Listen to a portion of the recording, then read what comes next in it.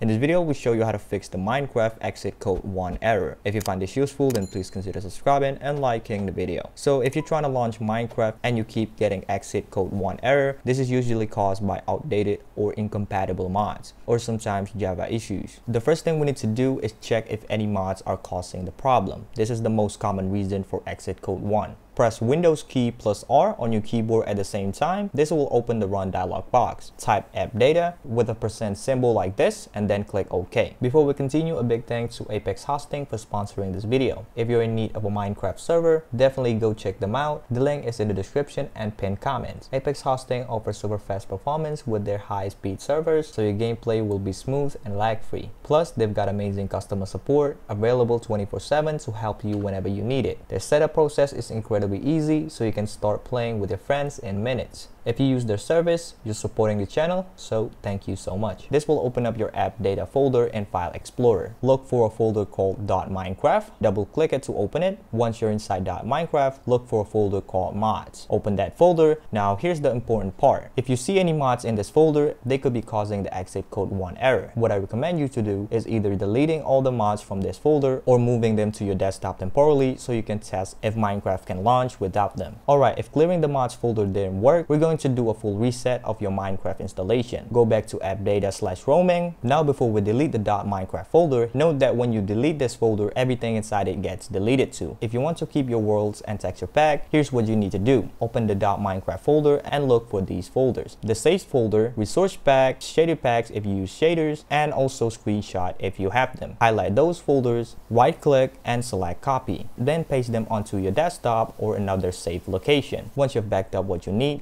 go back and delete the entire .minecraft folder. So let's go ahead and do that. Right click and hit delete. After you do that, you can open up Minecraft Launcher and click play. The launcher will automatically re-download all the necessary files and recreate the .minecraft folder from scratch. Once Minecraft finishes downloading, it should launch without exit code 1. Now, if you're still getting exit code 1 error after all of that, the problem might be with Java itself. Open your web browser and go to java.com and once you're here, click on download Java and wait for the installer to download. Once downloaded, open the installer and follow the on-screen instruction to install the latest version of Java. After installing Java, restart your computer to make sure all the changes take effect. The exit code 1 error should now be fixed.